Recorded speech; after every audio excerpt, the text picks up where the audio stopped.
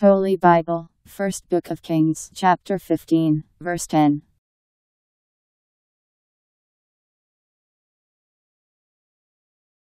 And he was king for forty one years in Jerusalem. His mother's name was Maacah, the daughter of Abishalom.